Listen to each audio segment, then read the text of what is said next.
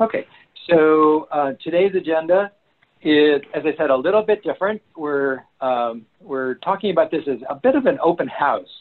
Um, we've gone through a lot of material over the last 12 weeks, and we wanted to take an opportunity to pause for a moment, have a little more conversation, uh, and to reprise some of the topics and provide some updates, and then talk about where things are headed moving forward.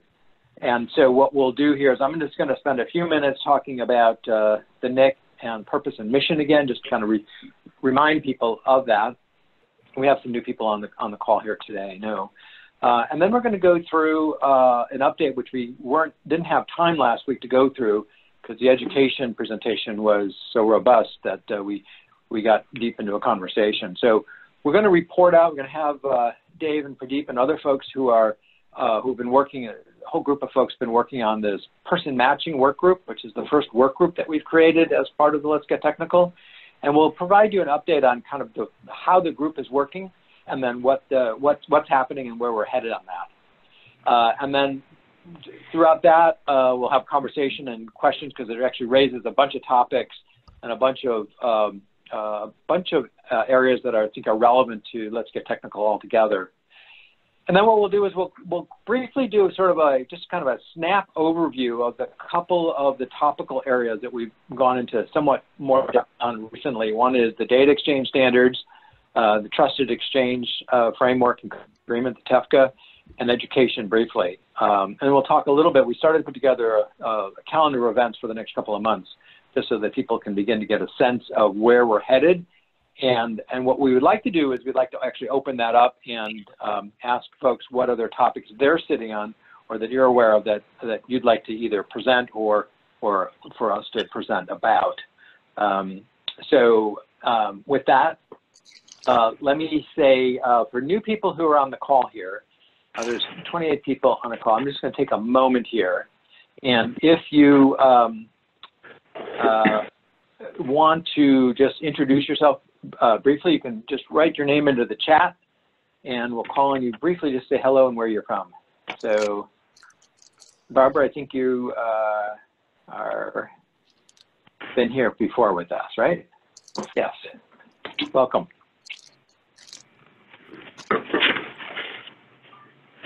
Uh, Jeff, say hello.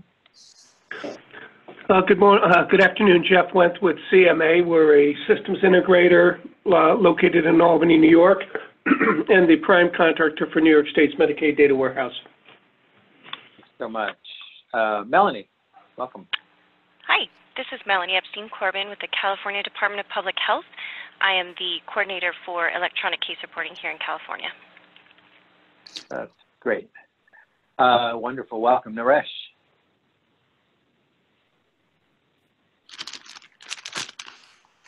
Hey, this is Naresh. I'm from Utah, and I work on control substance data as a senior informaticist. Oh, great. Welcome.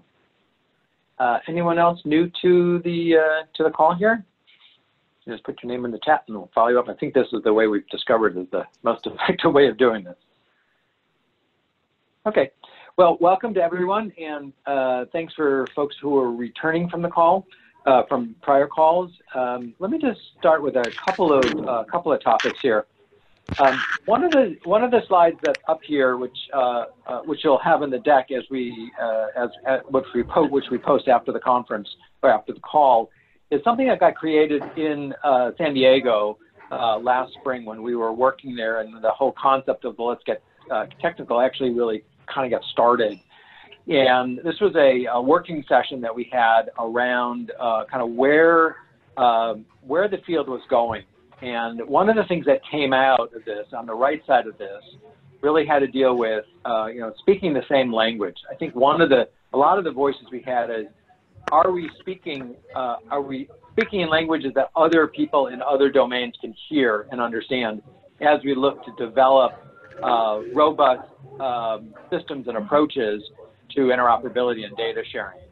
And I, as I was looking through the uh, some of the murals we had, I thought this one really represented, in many ways, the core of what we're doing here, or what we're attempting to do here with the Let's Get Technical group. And uh, by that specifically, um, you know, the Let's Get Technical is part of the National Interoperability Collaborative, which is a community of networks. Um, and the mission, of course, is to improve systems, increase collaboration among the sectors that enhance safety, health, well-being, education by, by advancing information sharing. And it's interesting that to, uh, this week is actually our first anniversary of really having the, the hub up and, and running, which we're calling our hubversary. And some of the stats below kind of give you a sense of the participation. So there's over 800 members who've joined. Uh, there's over 80,000 page views, 12,000 visits, and a very high level of engagement. And a bunch of resources, close to close, uh, uh, approaching 900 different resources that have been contributed by uh, by participants in the on the calls and, and by our team as well. Now, the, the core point here is that um, the NIC is um, is really attempting to go across uh, domains. Uh, clearly, there, there's you know a ton of work going on in health and human services and public safety and education, and a lot of expertise, a lot of experience, a lot of uh, a lot of history of developing and optimizing solutions. Um, but what is uh, lacking to a certain degree, and that's been emphasized by a number of calls, is the, the cross-domain collaboration. So how does social and health work together? Uh, how do social and health and public health and education work together? And it's that it's that edge of working across the domains, which appears to be uh, both unique and also particularly exciting for folks in the conversations we've been having as we've explored um, uh, the standards conversations, as we've explored the application and the implications of new uh, national policy or federal policy that's coming down, uh, and as well as uh, things like we're going to hear about momentarily, such as uh, person matching.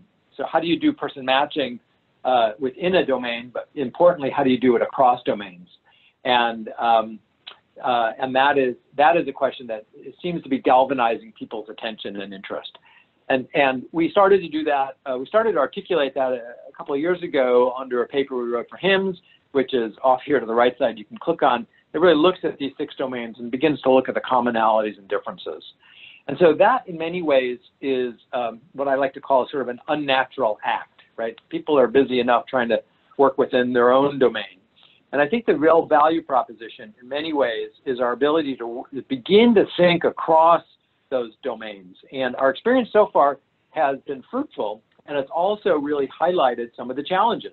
Uh, simply speaking, the vocabulary of another uh, of another domain is is challenging enough in terms of what we even call it, whether or not it's a client, a patient, a consumer, or a customer or just a person, as we've chosen to refer to the person matching kind of approach here. Um, and, and that's one of the things that really, I, in just a moment, we'll, we'll sort of transition to the uh, person matching group, and they can, art, we can, they can articulate, uh, you know, the kinds of challenges as we're looking across those, uh, those domains. And so that's a place that I think we really want to uh, be paying attention to. I'm noticing a, uh, a, a note on my on my Zoom that's looking like I may have lost connection here. Um, uh, and let me know if that's true for folks. I still Uh, hear, Adam. hear your audio. I still hear your Yeah. audio, Daniel, but I just get a black screen. Okay, so I don't have any more slides to show, so I'm going to I'm going to uh, try to uh, relaunch the, the, the the video portion of this. But let me turn it over uh, uh, to both Dave Walsh and Pradeep uh, Padilla, Hey, as Daniel. well as the rest of the team. Yeah. Hey, Dave. Hey, uh, just because we're, we're transitioning to Dave, and uh, I'm pretty good friends with Dave. This is Kevin Driscoll. Hey, we joined last week. Great. Yeah. Um, I'm, I'm happy that you guys have invited us. But I just want to let you know, we, I had my chat window was screwed up, and um, I've got my guy from that's heading up the like the education domain for um, Dave and I um, on. So Brian, if you could just introduce yourself real quick. Uh, yeah, Hey, Brian I mean, basically, Kevin just said it. Brian Brown. Um, I'm out of Atlanta, um, and I do the education piece for uh, Concretely AI. Oh, great, great. Uh, so Thanks, Daniel. get to Yeah, I just want to take the opportunity to, you know, I know we were looking for some more people, so I Yep. thought it'd be good to bring Brian in from a domain of education, if you don't mind. Fantastic, fantastic. Thanks. Thank you. And we'll, we'll, we'll jump to that momentarily. So, uh, Dave, Pradeep, you may want to introduce the other team members and then, uh, uh, uh, let me see if I can pull up your, your page while you're doing the introductions here. Go ahead, Dave. Happy Friday, everyone. Good morning. And the other team members are um, other team members of the client or patient matching work group or the project group are uh, Daniel uh, Stein, uh, Dave Walsh, Adam Pertman, Marceli Hancock, Rita, Noam, Brian, Eric, Neil, Helen, Tim, Ford, Lester, Larry, and Paul. Dave. So, uh, so the team has been uh, meeting uh, frequently to identify and flesh out what what would be an ideal product that comes out of this patient or client matching. Because there there has been much literature when it comes to patient matching and client matching but we were trying to identify what would be a good product. I mean what would be a good product as well as how could we make a better use of the time of all the people who are joining the call and taking time out of their busy schedules so we have been talking about some possible products so we're trying to keep it like a question and answer kind of a thing. So I'll get started. So, so, uh, so team, uh, what do you think would be a good product that, that could come out of this work group? Any, any, any thoughts?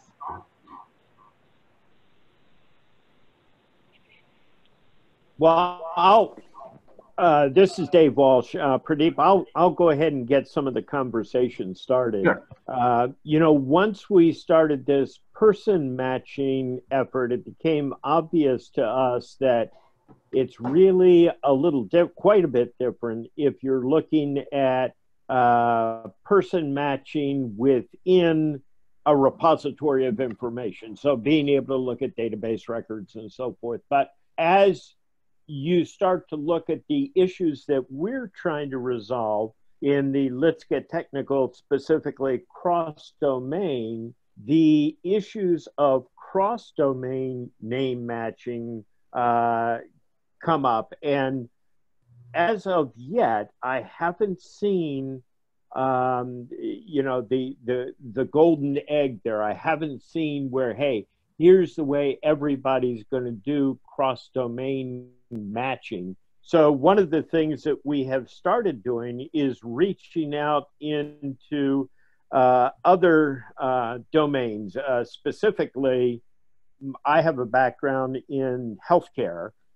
So, as uh, initiatives like FHIR to exchange information become more and more of a focal point of the healthcare domain, they have got the problem of cross domain matching, but I have not yet heard here is the single solution. So, what I'd want to encourage is if people on this call, either now and really appreciate it now, or into the future, see potential uh, approaches to cross domain name matching, I'd love to hear about that. We all would. So um, this is Mary Sarah Jones, and I'm I'm from IBM. We are doing that with a couple of clients, and in Sonoma County, we are bringing together um, and FHIR, um, so that we can do that cross industry standards. So we've got the AHL7 data, we've got the social programs, the human services data, um, and we are doing the identity resolution based upon specific attributes um, that are relevant within the different systems. So we um, we're also doing that in um, San Diego and a couple other projects. So um, I'm happy to give you more information on that if you're interested.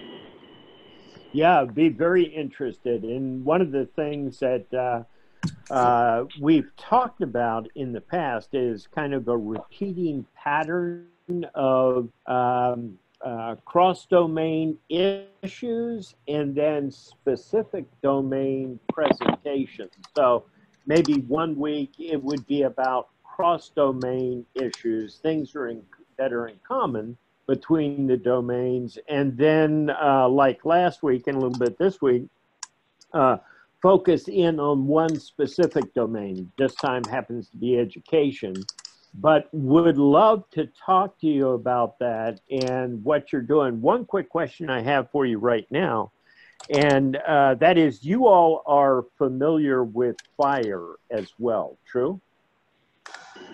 Yes, that is correct. So, uh, you know, one one of the initial questions that I have is, it would seem like in a uh, FHIR-oriented architecture, you would uh, you would be hitting this problem on a regular basis. Do you see any standards coming out associated with FHIR or for cross-domain matching in general? Do you see standards coming out for that? So um, we're using FHIR and NIEM, N-I-E-M, the um, Mhm. National Information. Yeah. So we're using both of those um, Uh-huh. and kind of harmonizing them in order to address the cross-domain issues. Gotcha. Gotcha. So I think even a little bit later in this discussion, we're going to talk a little bit about NIEM and FHIR and the cross-domain aspects there. But anything that you see in terms of cross-domain name matching, I'm sure Pradeep and the rest of the team would really appreciate insights on that. All right, I'm I'm happy to provide lots of information, and we can get um, the architects on the phone if you want, um, to, who can dive into it really deep. Yeah, and this is Brian. This is Brian Hanspicker. I'm the technical lead for the NIEM Health Community of Interest, and one of the projects that we've been working on over the past year is uh, defining a mapping between HL7 V 2.5.1 and FHIR uh, resources and uh, NIEM elements uh, with the intention of ensuring that there was a standard mapping that was available to all comers. And I would love to see what uh, your architects have done um, with their internal mapping. This is Carmen Smiley from ONC. I would also really love to see what you guys have done. Thanks.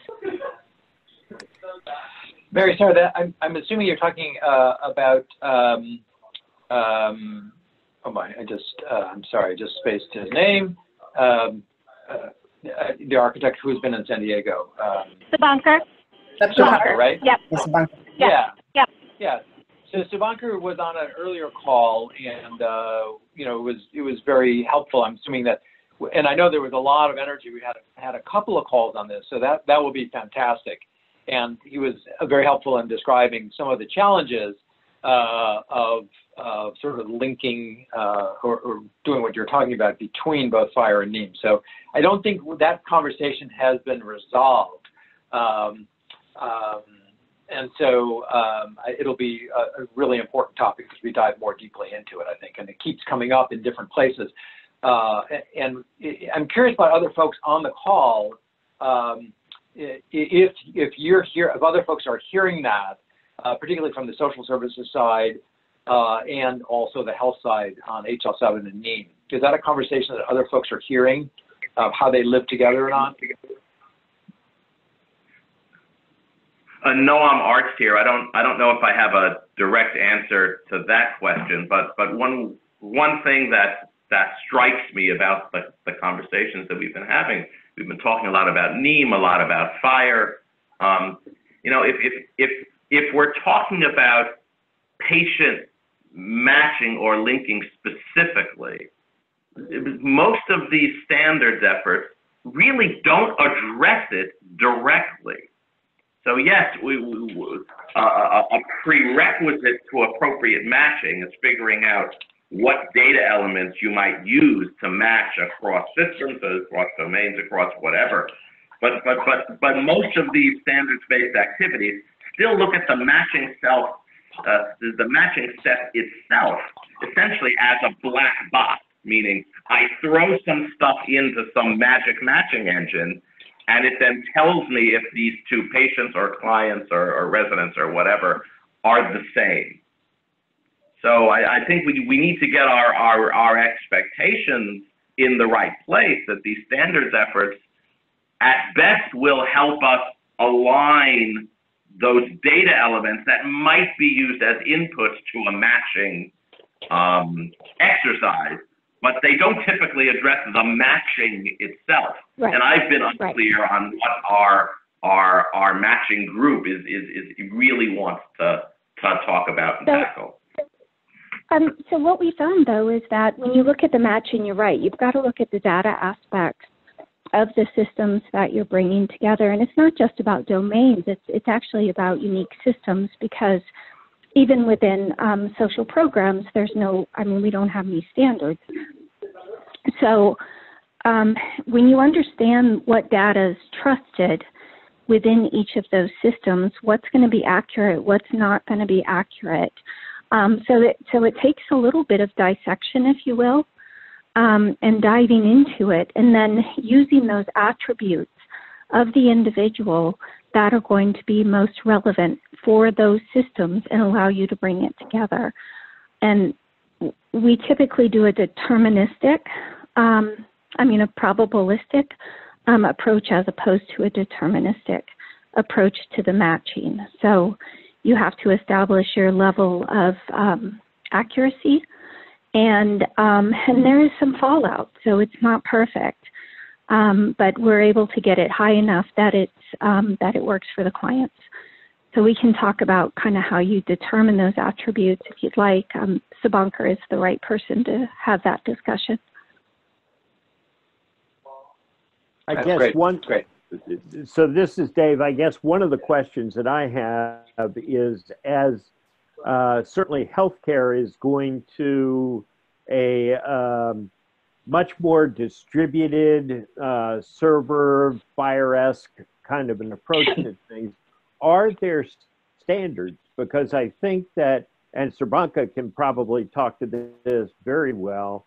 There are ways that he can do that if he is the owner of those endpoints, if he's the owner of those systems. It gets a little more complicated if you take a scenario like schools where somebody is transferring school districts, transferring states and so forth to be able to uniquely identify in both of those uh, uh, jurisdictions Yeah. that we're talking about the same individuals. So, go ahead. Yeah, yeah, no, um, we don't. Uh, he doesn't own the endpoints in any of them. So we, um, that was has always been one of the um, requirements is that the legacy systems don't get changed. They're managed by different entities, um, and there's no updates to that data, so it stays as messy as it is. Um, so yeah, it, it is it is complicated, um, but there are approaches. There are approaches that work. That's great. So I'll I'll be reaching out to either you or Serbanka to try and uh, get more information on it. Great, great. And Daniel, I've got to drop for another call, but Okay. we're happy to, you know, facilitate a session if you'd like with you. Yeah, that sounds great. I think this is a topic Okay. uh, of great interest. I, and, and I'm I, and I'm sure that other folks on the on the call, maybe some of our ONC colleagues uh, who are working, you know, at, beginning to work more at the cross, you know, the cross domain area, would have interest. And Carmen, I think um, uh, I think you expressed interest in that. I, I'm I'm curious if there are, you know, where that conversation is also happening at the federal or other state levels, um, Oh. especially for those systems who are, you know, sort of bumping into that um, from the, you know, different areas. Well, uh, you know, Daniel, you, you, you know that I, I do a lot of work with public health registries, and while they don't necessarily cross domains, uh, you know, when you collect data from clinical care, you could fair, fair, fairly broadly, you could just as well be from different domains. They're, uh, it's so different. so, you know, we, we have a lot of experience collecting data across across health healthcare. Um, uh, you know, and, and and and I think it's it's more all it's, it's more like cross domain than not like it. Uh, I I also paste, pasted in into the chat the URL from a a white paper that came out of uh, Community of Practice, an O- ONC sponsored Community of Practice that I was involved in a number of years ago. And this, this group actually tried to, to establish or, or, or, or, or define a sort of normative set of, of data that would be most useful uh, for, for, for matching, in, in this case, within the healthcare domain. But look, since a lot of its demographics, I don't, I don't know that it's dramatically different than any other domain. And it, it addressed it by, by um, uh, describing as, as essentially levels of maturity. That if you only had these data elements, you were you, you, you were sort of less mature, and then as you went up up up the line and added more, you were con- considered more more mature. So that that white paper might might be a starting point for some conversation since it's well thought out and written up already. That that's great. Uh, no, the, you know the existing resources. You know, we just shook the trees a little bit. And thank you for adding that one. We're we're we're adding those to the uh, to the hub, and we'll continue to do that. And we should have our repository up, our searchable repository in a couple weeks. So that those those materials should become available uh, for broad for for broadly for uh, for part- whoever wants to uh, access them. So just before we Um, go forward, Daniel, I wanted to let Yeah. you know that at least on my screen, all I'm seeing is black anymore. So I don't know if you're still trying to share screens. Uh, if so, it's not happening. And I Yeah. don't know whether Adam has it and could share it or. Let me try again here. Thank you. Mhm. Um, before we move, and we've kind of sort of started to talk about the, the, the next uh, topic, which is the standards, and we've actually been talking about the NIEM and, and FHIR sort of interaction, and we know that there are other standards out there as well. Um, one of the things I want to just uh, uh, ask you uh, to sort of to talk about a little bit, uh, Pradeep or Dave, uh, or Brian, when we were talking the other day in preparation for today's call, we talked about what the what you know how best to to display this, right?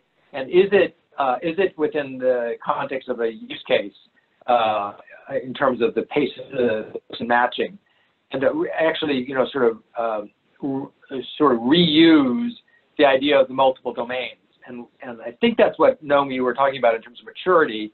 Uh, you know, if you if you look at each domain and say and, and ascribe some of the criteria to those domains in terms of person matching, uh, uh, you know, that might help visualize what we're talking about here as well.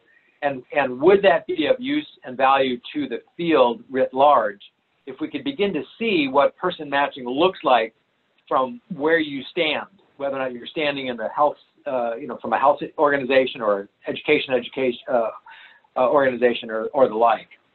Um, so if you want to elaborate a bit more on that, that would be helpful.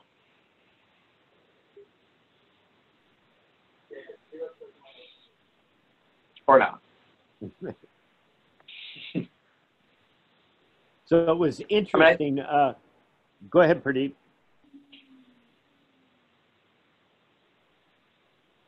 Uh, uh, I was just going to comment. It was interesting. I don't recall who mentioned it uh, a little bit ago, but uh, we often refer to it as cross domain. And I'm sure that as we look a little bit deeper, and uh, Elliot, Larry, that crew could probably speak to it in education, but if we think of education as one domain, there are probably uh, at least hundreds of different systems that we would need to be able to do cross domain matching with. So it's not just the domain in general. Somehow it would seem like uh, if we're going to be forwarding uh, transcriptions, if you will, or other information on a student between school districts, they may have very different systems. So as we look at it, certainly looking at it as a domain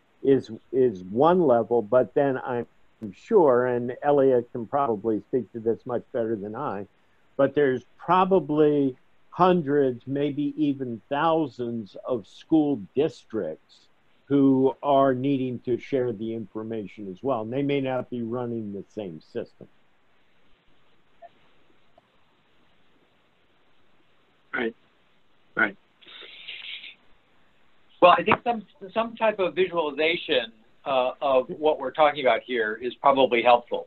Uh, I think so far in our in our sort of uh, research and our discovery process, uh, what we what we found is, uh, or we haven't found the cross domain uh, matching yet, or if we have, or if it's out there, we haven't we haven't we haven't discovered it yet. And so, in terms of making I'll just wrap this up and then we can move to the uh, to the next next topic here.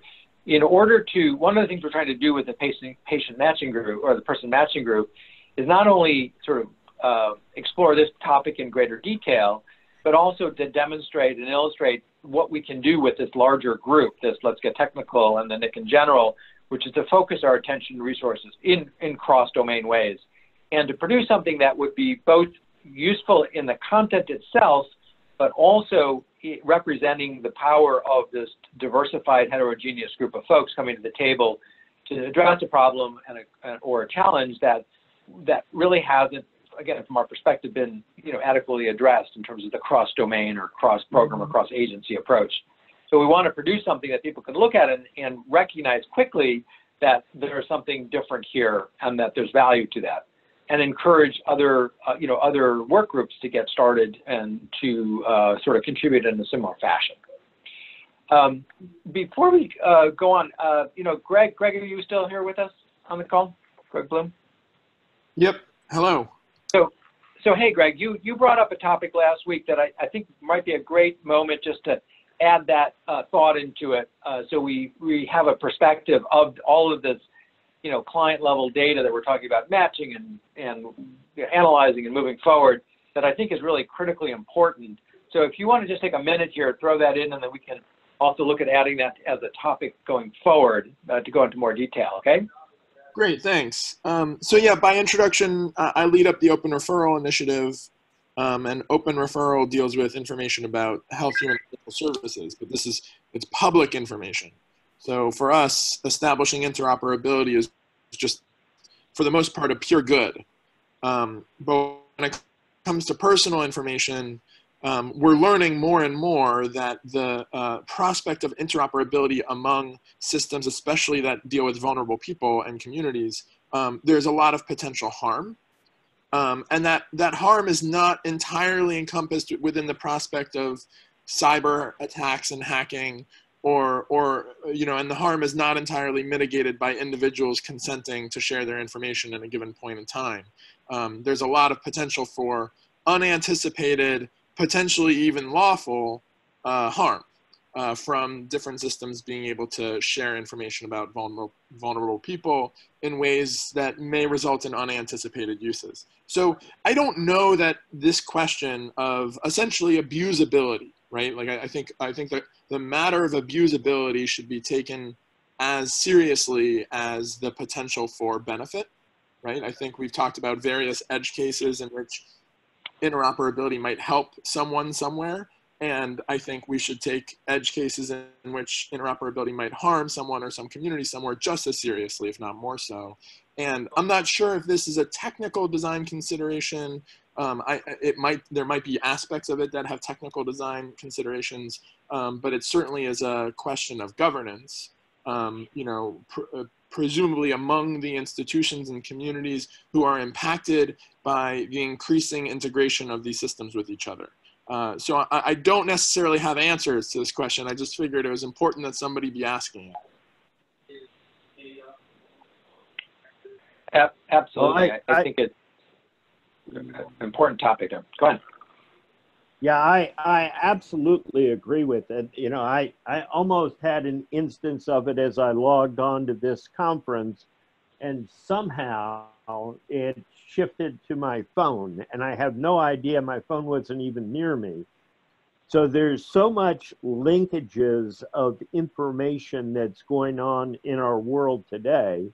Um, it it becomes scary, like he was saying. I think the only thing that I can see is if we educate ourselves more to understand the potential for abuse and potential ways to secure that data, so it is uh, it's not abused as opposed to just putting our head in the sand and saying well i don't know how to handle that. I think there are ways to handle it. Uh, we need to educate our, ourselves on it and we need to expect that there will be abuses and we need to find ways to uh, to punish those people that are abusing.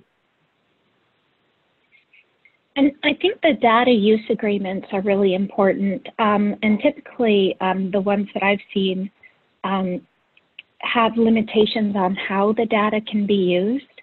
Um, I don't know what kind of teeth there are to reinforce that, but I but I think that is really important.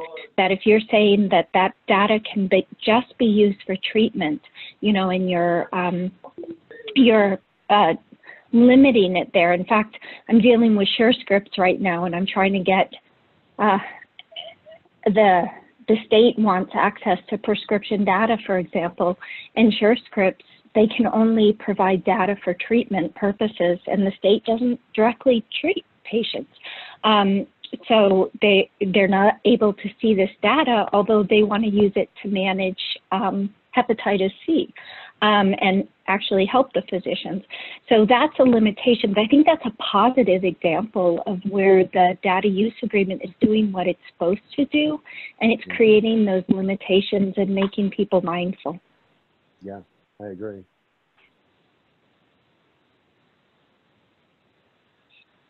Any other reflections on that from part, people on the call here?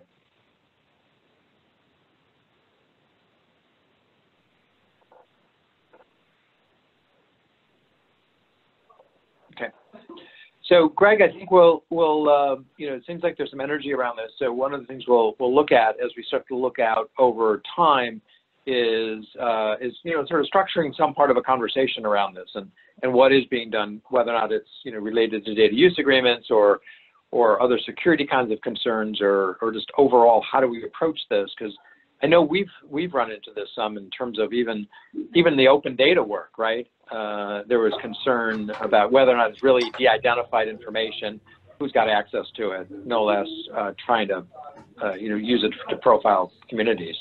Um, so I think it's an important topic that you, you are you're, you're bringing up here. Cool. Yeah. Especially. I mean, uh, yeah, I mean, I, I think um, I, I, think it's just a question for the folks involved here. Like, I'm sure there are some data use agreements out there that are really well crafted. Um, and I'm also equally sure that there are going to be instances that were unanticipated, right? That that um, uh, and so I think I think some of some of what I'm bringing up is really more of an institutional design question of how those agreements get designed and modified and and enforced. Um, but there may be some technical considerations in terms of notification, consent that's not just ongoing, uh, and questions of resource of re, recourse. So um, yeah, so I'm I'm I'm eager to just be listening in, uh, uh, or I have some you know paths that I might be able to help connect us. Okay. Yep, that's great. Uh, there's still a little bit of background noise, and I, I'm I'm wanting not to mute everybody. So if you do have some background noise, um, please go ahead and uh, sort of mute your own phone there, or I'll or I'll take the drastic action to uh, to limit everybody. Um, but I think this part flows directly into the into the very kind of which you talked about a little bit, which is around uh, the date, you know, the the standards question that we've had uh, or we've been having around um, both uh, both uh, the NIEM work and then around uh, the FHIR work and the HL7 work. And then we got a little bit of introduction to that last week on education. Um, and, and so maybe uh, Dave or Brian, um, you want to just add a little um, context uh, around where we're at on that. Uh, I know that there's, I think Mary Sarah offered uh, to sort of bring uh, you know, their perspective to the table in Sonoma and LA, but it might be interesting to just to hear you know how you guys are thinking about it as well. Sure. Do you want to take it, Brian, or you want me to take it? Uh, I was tell you what, I'll lead off and, and you can provide okay. detail. Okay, sounds good. I, I, what we, what we have been talking about in the past was putting together some type of a proof of concept for uh, uh, a NIEM to FHIR bridge uh, that would, of course, involve uh, mapping uh, healthcare information to NIEM information and vice versa. Um, and targeting as the first uh, proof of concept implementation, the notion of uh, patient slash client matching. I yield to you, Dave. Okay. So uh, one of the things that we have been talking about, and I don't know, Daniel, uh, whether your screen is currently showing or not. I think, yeah, I think it's still a black screen. Uh, Mhm. Is it is it easy to pass the screen control to me because I've got a slide that I could talk about this with a little bit, Oh, let or me, if that's let me, difficult. let, no, let me see if I can do that. Maybe that, maybe you have more bandwidth and allow you to do that. I'm gonna give Yep. you the remote control here. Um, Dave, it should, you should see a little, uh, something on your side now that allows you to grab it. Hopefully that will be good. Um, I let me see. No, it still says I'm viewing SOC screen. Yeah. Let me try one more time. It may not, uh, I apologize. It's, the bandwidth here is not great. Yeah. Well, if you wave your arm Well, a bit more, maybe we'll understand this. yeah, there you go. Uh, so what we've really looked at um, is coming from the healthcare domain in general. There is, uh, and I, I, uh, uh, there is the FHIR standard that's getting a lot of attention at this point. If you look at the FHIR standard, it really breaks down into a couple of pieces. One is about the data. How do we represent the data that we're going to be sharing? But then a lot of it uh, addresses the transport. How do we get information from point A to point B in a secure manner using HTTPS and so forth? But then there are other pieces in the work, something generally known as SMART on FHIR.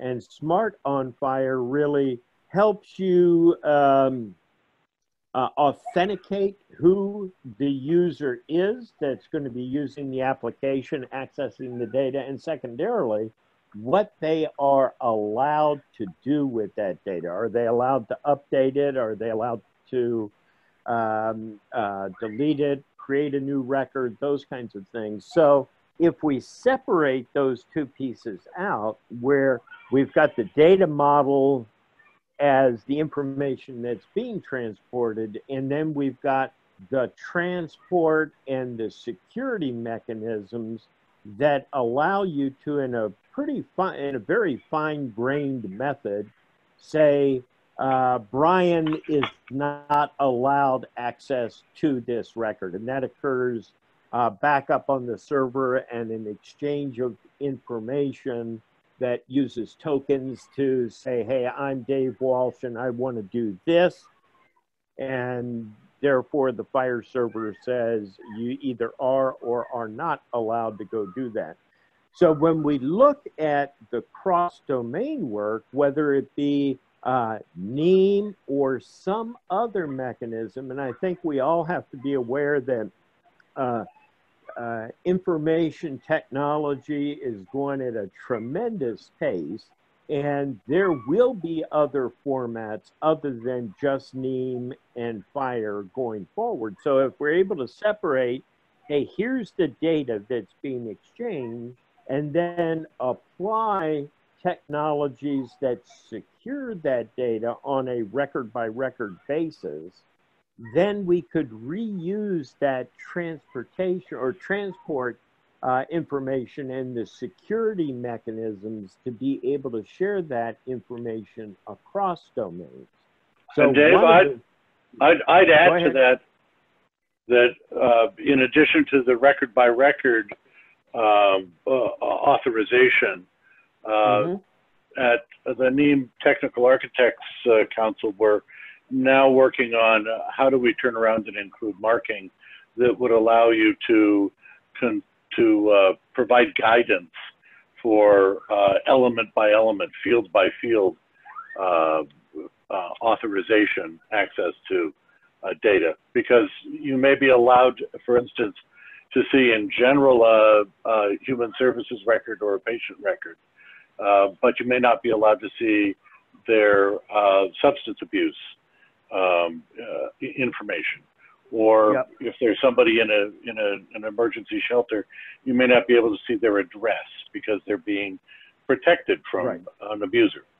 Right, right. So, so good point. But I think in general, um, what we've got to recognize is the wor- world isn't going to be uh, one way. And in healthcare, FHIR seems to be the up and coming bright new star. Uh, we can almost predict from history that that will change. Uh, it used to be XML, now it's JSON, who's the darling of how we uh, how we render information or how we make information available. So I think one of the things that we can do is a look at the various domains as we go through touching domain by domain and try and look for the most likely information or the most valuable information to be able to exchange with that domain. So collect on a domain by domain basis what are the pieces of information that would be the most relevant and then separate those data elements from how you share them and utilize technologies like is being used in FHIR to transport that information from point A to point B. So I think, uh, you know, that follows nicely with some discussions that we've had on having um, uh, some of the weekly calls be focused on a specific domain.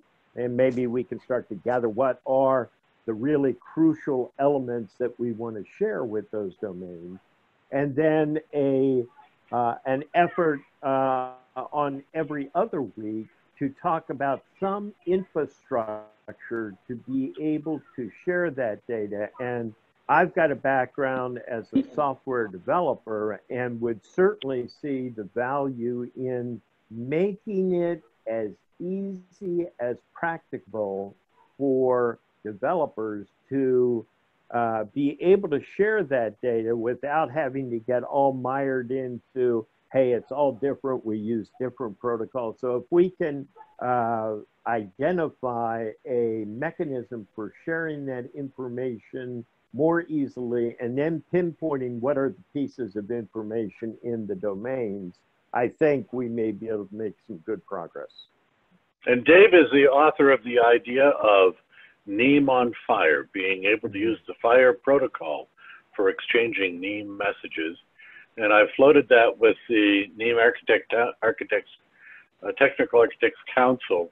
And uh, yeah, that's an interesting idea. So I think uh, the next step is we need to get a prototype of uh, a, a NIEM on FHIR implementation in order to uh, really get the NIEM community excited about this idea. Yeah, that'd be great. I think I'm a big, big fan of prototypes or proof of concepts so you can get past the talking levels and see what actually does work and doesn't work. Just do it. Just do it. We can always refactor later. There you go. Sorry for all of you non-software people.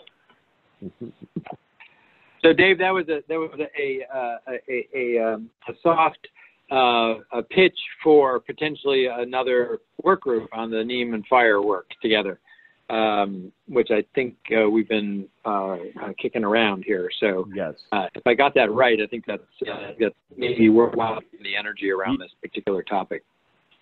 You got it exactly right, Daniel. Yep. Right. Let's do it.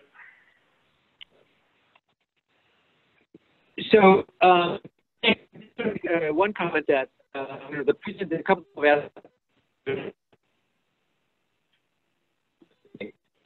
Daniel, we're losing you. You're breaking up. Okay.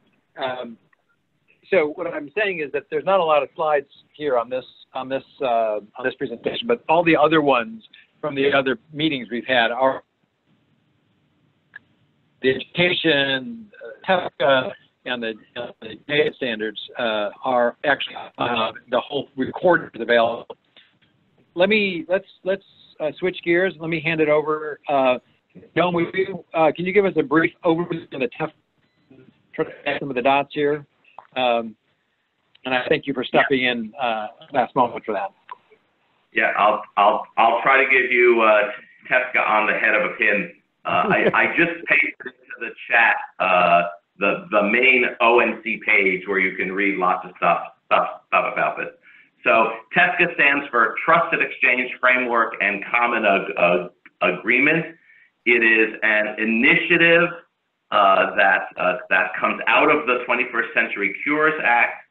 Uh, it is, it, but, but it, it, it is not rulemaking the way that we've seen some of the CMS uh, and, and o, ONC rule, rule, rule, rulemaking that have come out of meaning, meaningful use and the EHR incentive programs, uh, now called promoting interoperability.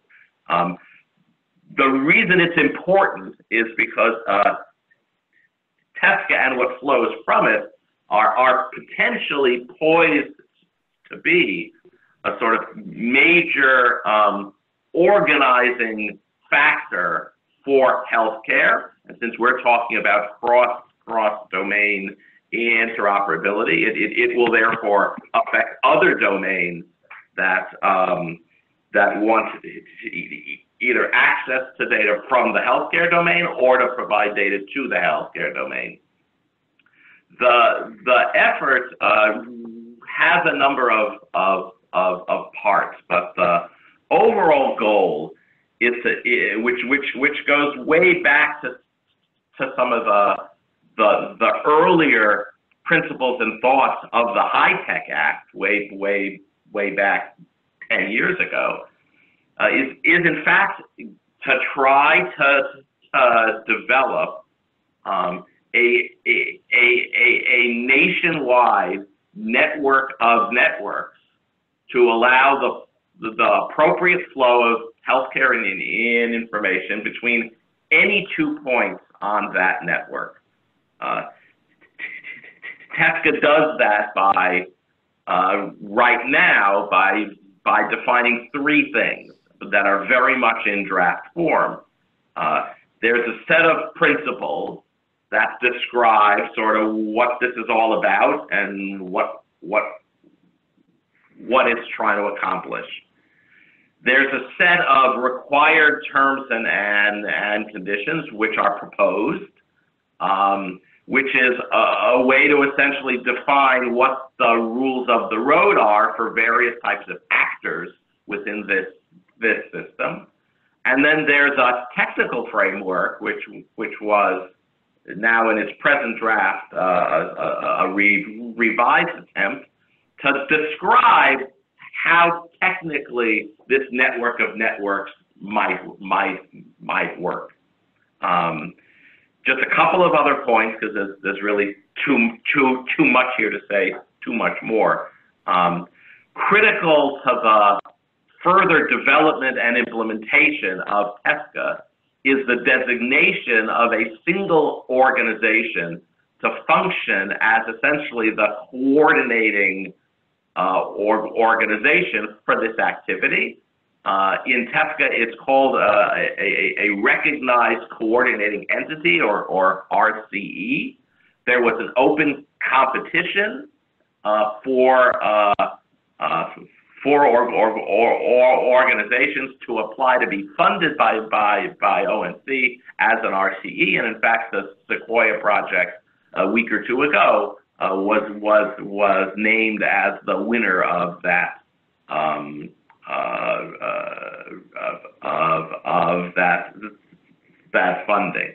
Uh, so with an, an, an RCE now being, being named, um, hopefully the, the momentum behind TEFCA will even pick up even more uh, because now there, there's an organization which has really been re, retained to, to develop uh, the, the, the final versions of, of the architecture uh, and terms and, and, and conditions, the rules of the road, and see them through to ex, ex, ex, execution. And we all hope that there will be a lot of community engagement.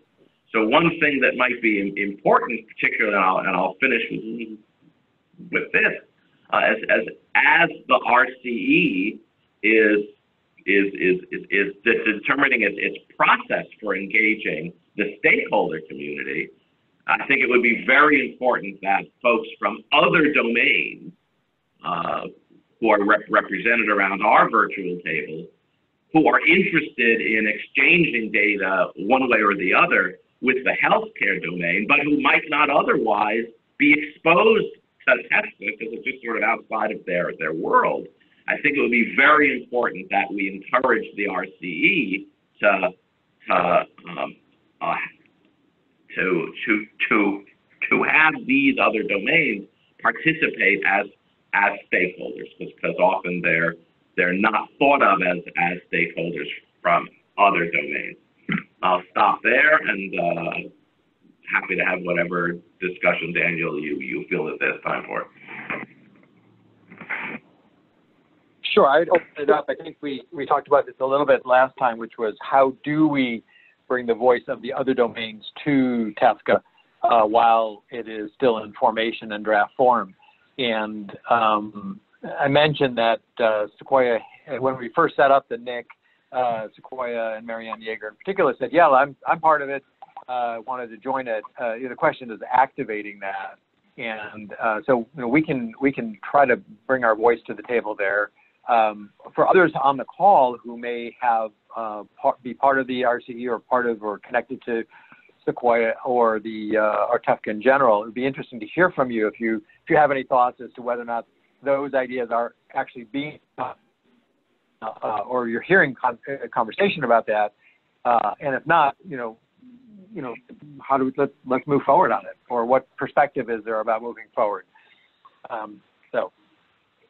Well, right now there's really no conversation at all. So, so, so where this was last left is that a, a second version of the draft TEFCA documents was was released earlier in the year. There's a, a public comment period, and we all submitted stuff. Um, at the same time, there was this competitive procurement for the okay. coordinating entity. That's now come completed. So we're just sort of waiting to see what's going to happen now. So at some point, the, the, the RCE will will start something, and we we don't know what that is that it's going to start. Right. Right.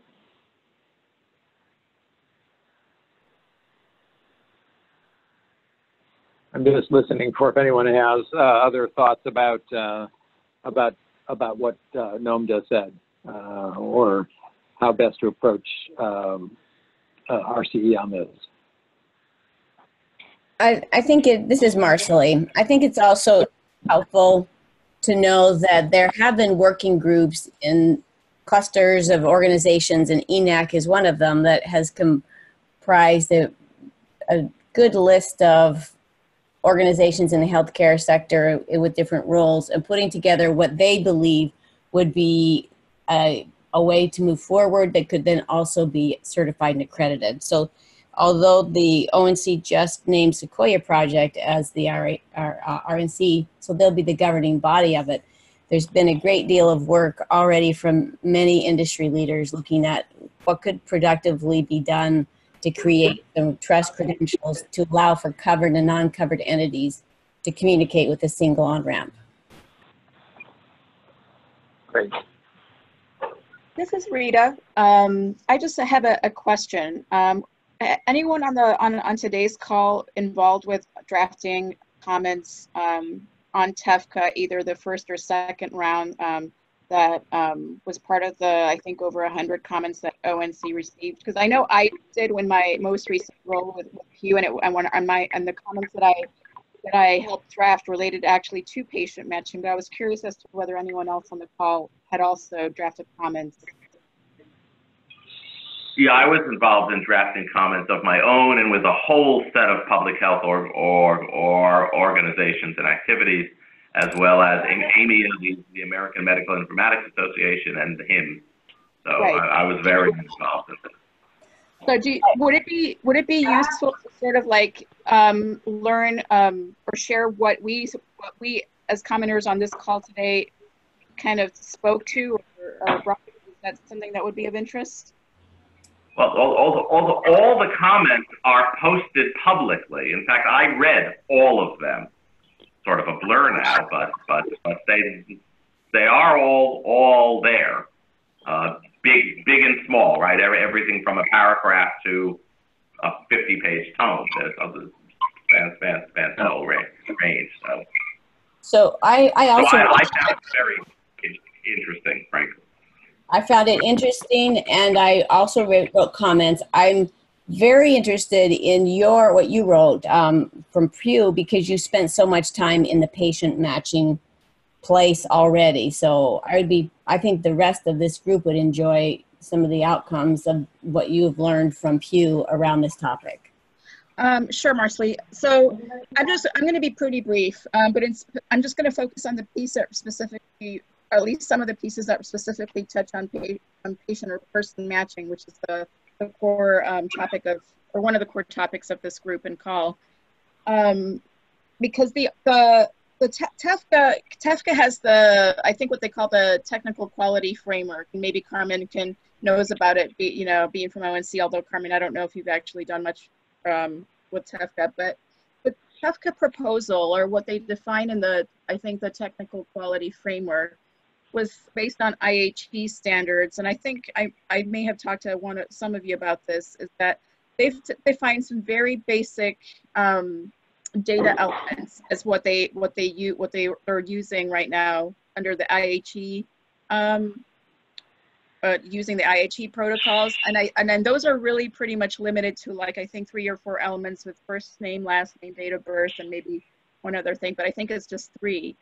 And so in terms of like perhaps how the group can engage with the RCE with Sequoia when they start actually like, you know, holding community meetings is sort of like trying to inform, you know, maybe what they're looking at from the perspective of like what's going on with those standards or if they're going to be trying to influence any, any um, changes to those things to either incorporate more more like data elements that might also be relevant to other domains, domain and those things. That's of the things that I see as maybe being a way to to elevate the the discussion. And I don't know if uh, what what other people have thoughts on with with regards to that.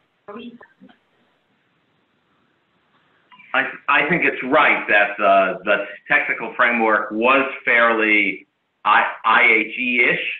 Uh, a number of us in our comments, and I, I also participated on a, a work a work group uh, of, of, of uh, that ONC can convenes as, to provide comments as well.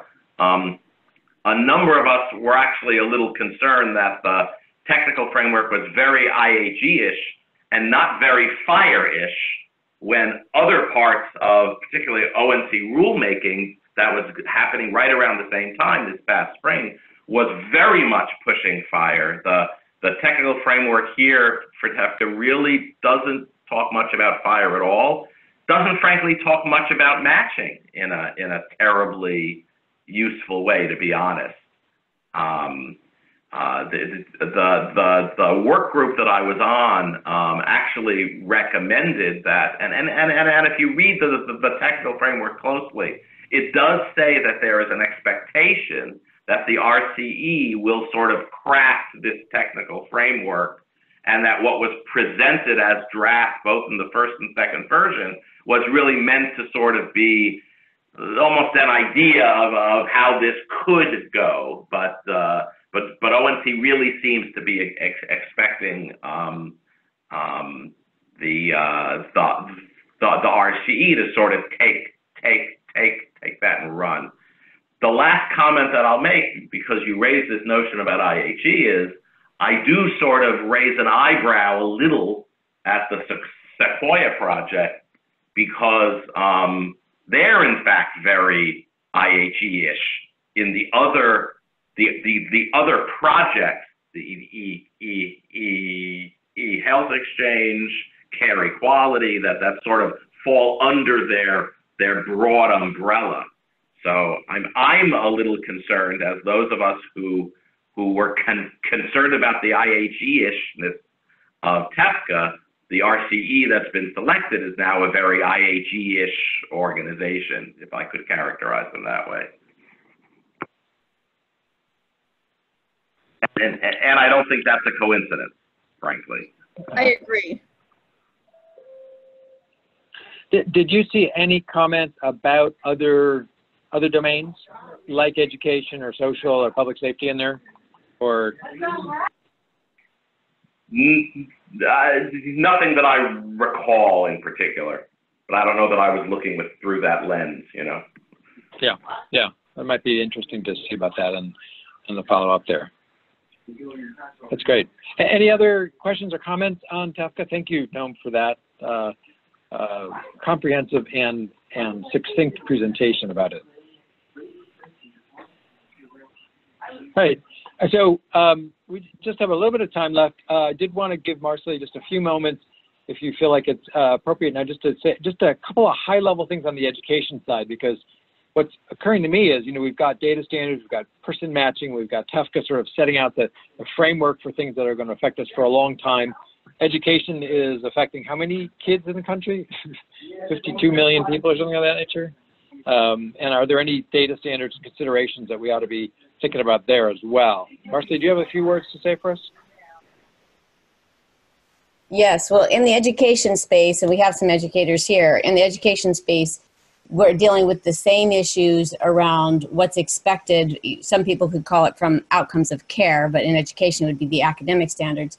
Then we fight over these two same things that happens in healthcare, which is the data standard itself, meaning what is included in it. So what is the, the dictionaries and the, the words that we use and how we organize it, and that gives us meaning. And then there's the technical standards. So what needs to be connected with the packets and the protocols and the data exchanges.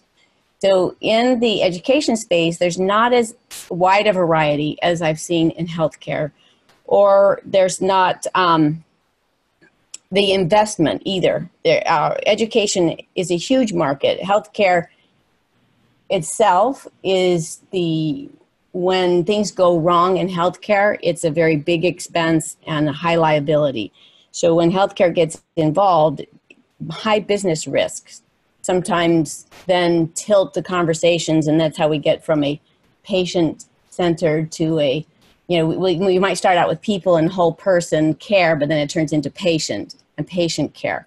And and i think that's because the risks of mishandling health information is so much greater in every possible way particularly financial fines than it is with education. So in education we have a, a group of companies that provide different types of services depending on what needs to go back to the state or what goes back to the federal organizations. And there's a handful of um, different integrators. And this is where it's quite different than in healthcare or in human services because schools have similarities. They don't have similar capacities, but they have similarities in what's expected. There is a series, about three or four big companies that do the integration. So they'll have the school information system and maybe they'll do the, the student registry. And that's going to be a small amount of information about the students. Overall, education data is very rich in bringing context for what a family's life is like. And oh, I, I appreciate the comments about how important it is that we're very careful with what gets combined because historically we already know whatever can be known is then used by companies, for example, the insurance companies. And what I mean specific, specific about that is the, the state of California cannot manage or understand what prescriptions are filled to track hepatitis, hepatitis, hepatitis C. But every night, every pharmaceutical, every prescription filled every day is updated in a system created pulling people's individual HIPAA request when they sign for insurance. So when you've signed on an insurance form, it means that you signed a HIPAA request And every single prescription you filled your entire life is on this database.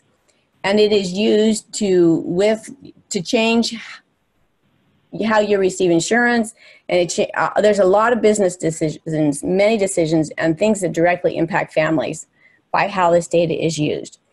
So this brings me back to this concept of schools are dealing with low resourced budgets. And and this came about because the federal communications fcc provides e-rate funds which funds the actual communication technology itself and none of that money to date there's a there's some efforts now to try to change that with some new rules. None of that can be used for cybersecurity or for student privacy. So it means that we have little bits of rogue systems and uh, not a lot of oversight and there's very little enforcement. Actually i would say almost no enforcement in k-12 because the department of education is the enforcer. And in K-12, it's um, it's it's never been enacted because it means that all federal funds would be withdrawn from a school. So there's some problematic issues around student data and the interoperability of it on its own. There's also some tremendous opportunities for communities to come together, and even if it's only to help create more confidence in verifying the identity of an individual, particularly a pediatric patient or a young person receiving human services, it can change our capacity to meet and imp- uh, understand and improve the social determinants of a community. So it, it, I, it sounds like I've wandered around quite a bit, but in reality, it means that if you set aside the academic standards, there's still the data standards and the technical standards that have similar challenges in education that you experience in human service and you particularly experience in healthcare. The data standards themselves, I, I, I will send in the link of this. There's a really wonderful library of the data standards put together by a recent project, the Unicorn Project, there's a very good paper that was done by Red Brandt that lists how they fit together. And then I'll send also in this chat window a visual from a, um, it's a, it's a paper and a resource that lists, shows you where all of these things fit together in where the data and the, so data standards and the techno, the technical standards overlap. Does this make sense? Where I'm talking about a data standard is really uh, it's it's the words we use and how we identify what's what we have, and then the technical is how it actually moves on the network on with different protocols and different actual technical standards. Personally, I think that would probably be interesting and worthwhile to have in the repository as we begin to look more, again, more intentionally across the domains and looking for commonalities and differences. Uh, and, and, both highlighting that and then thinking about ways to actually bridge that, whether or not it's in a thing like TEF, which may or may not make sense, or in other kinds of uh, other kinds of uh, policies uh, that are coming out in terms of interoperability. Uh, and and I know there's some bunch of initiatives that are that are out there. Um, so being able to bring that attention to uh, to the uniqueness of education as it relates to social determinants, which is you know certainly growing in momentum, I think would be really helpful. So I'll put, thank I'll you. put in the chat window, and it'll give you some visuals. It'll also help you realize uh, the opportunity to be able to work with integrators like GG Farrell um, there's the, the, mega standards are going to be the EdFi, IMS Global, and uh, Pay for All. It's a smaller network, and there's fewer people uh, to be able to execute on large but thin. And then schools are wide and diverse. So there is a place where there could be some helpful, not requiring much, but a little bit that could, could drastically help and improve communities that are working with families. Thank you very much. Sounds, sounds great.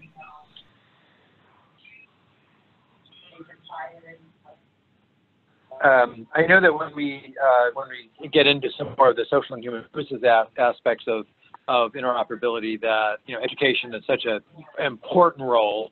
It, it may not be as obvious in the in the in the health or even the public health sectors, but when it starts to come to you know foster care, TANF program, behavioral health programs, there just an enormous overlap, and so the the requirements of being able to integrate and share data become really really really really paramount. Um, so that'll become something. It, it's outside of just oh, social human services. It's also workforce services. So workforce Right. services has determined if I do, if they if families have wraparound services, everyone's successful. It, everything gets better. So having access, being able to understand who's in a household, and the dynamics of the language, and there are the amount of information that schools have on families. It's it's incredible. It's much more than healthcare. Yeah. It, it also includes healthcare. Right. Surprising. Well, let me uh, thank you for that, and I think we need to keep that in consideration as we do this. Um, I, I don't know if you see my screen now or not, but um, um, there we're building out a. So let me let me just kind of wrap that, or just ask if there's any questions to Marcelly or any other comments folks want to make around the education or the integration with with other other domains. I'd love to hear from our new new education folks. Either go there and get what you want or don't go. Okay, so, um, so what, what I, uh, what we're starting to put together here is a series over the next two months of different, uh, both, uh, as Dave mentioned, sort of presentations and kind of framework conversations. So we're lining up and we're just now sort of locking down some of these based on our prior conversations. So if you can see my screen, you'll see that, that, you know, we're, we're talking about public safety and public health. Uh, in particular, we're also looking at the Family First Act, uh, which is you know huge for the uh, the child welfare. Um, um, uh, and then uh, the other thing that we've in, been in have been exploring is uh, Dave Ross, who runs the Public Health uh, Public Health Informatics Institute and is leading the Gates Foundation Global Health Initiative uh, talking about sort of interoperability outside of the U.S. and what they're doing relative to uh, actually a, a, less sophisticated technology framework and infrastructure uh, framework was fascinating. So to get a little perspective from outside the U.S. and what can be done. Uh, we've talked about uh, asking Mariann or Representative Sequoia to come talk, uh, and Dave had reached out to a couple of folks on the Gravity Project, which is addressing the um, uh, social determinants from a coding perspective. Um, and you can say a little bit more about that. And then there are a couple of other topics uh, that we're, you know, we're, we're looking at um, in terms of, you know, trying to get a full perspective on, on the various domains and then how these things begin to integrate with. So certainly very open to ideas. And I think one of the things we'll do is we'll, you know, make it clear that we're looking for suggestions or recommendations uh, for other topics or sort of reinforcing these topics in terms of level of interest? And then how do we actually integrate them into this larger perspective, this cross-domain perspective? Is there any any reflection, response to that, or ideas that just spin out at you?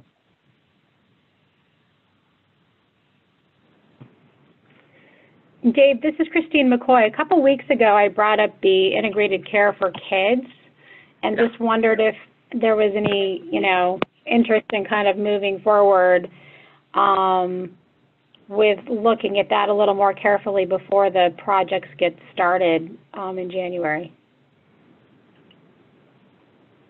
Well, I think I think that would be fantastic. I mean, that's going right at the the core of the issue of interoperability between right CMS and and uh, ACF and Children's Services, um, and uh, and probably criminal justice to a certain degree, right? With with opioids as a focus there.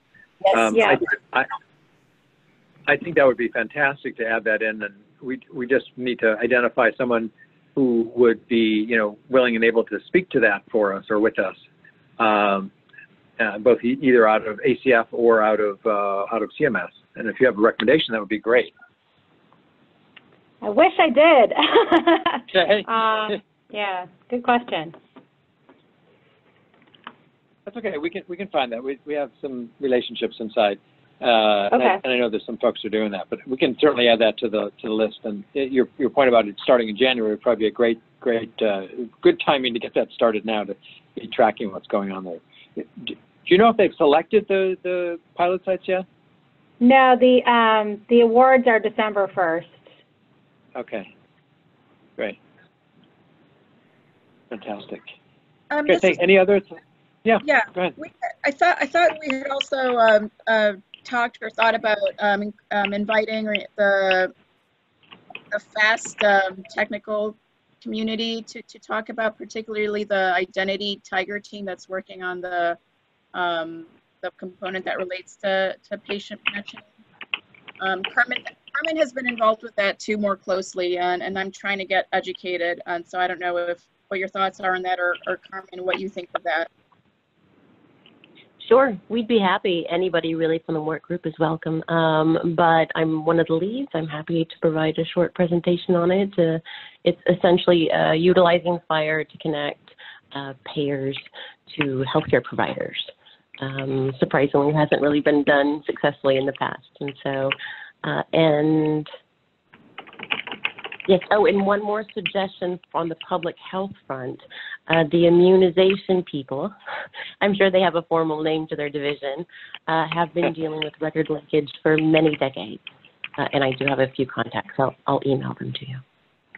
Yeah, that's, that's a world I'm heavily involved in. I've been working on immunization registries for 20, 25 years.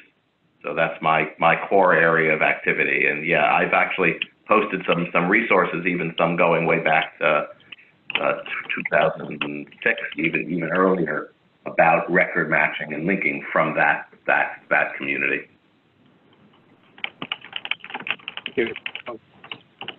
We'll call on you there as well. Any other uh, last thoughts? We don't, we don't close the door, just uh, for this particular call.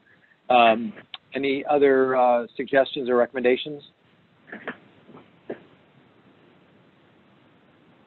Okay.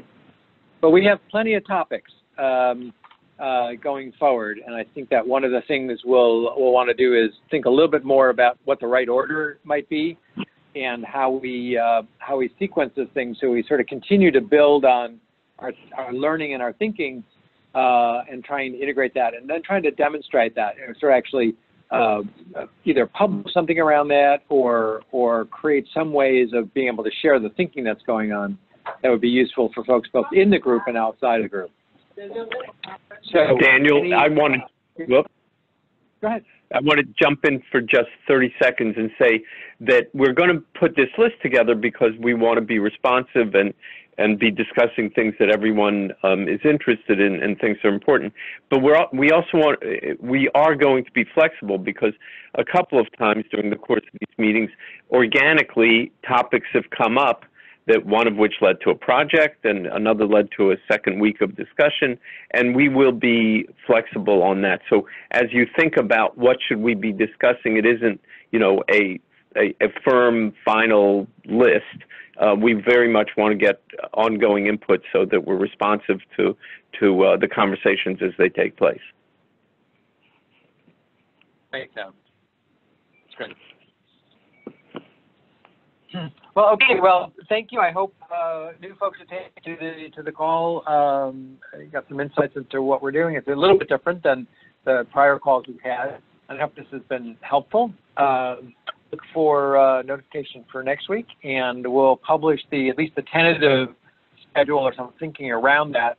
And of course, as always, you know, invite your thoughts and comments on the hub and questions or comments and we'll post whatever. I'm not sure what how much of this uh, audio or video will be intact given the on and off nature of Zoom here. Uh, but if it's worthwhile, we'll put it up on the hub, and uh, you'll hear from us real soon. And uh, we'll we've taken some notes, and we'll we'll add the ideas that we have to that, and and we'll look forward to continuing the conversation going forward. So with that, have a great weekend, everybody, and thanks for joining the call. See you uh, next week. yeah thanks everybody have a good weekend Yep. Thank you. Safe travels all. Bye bye.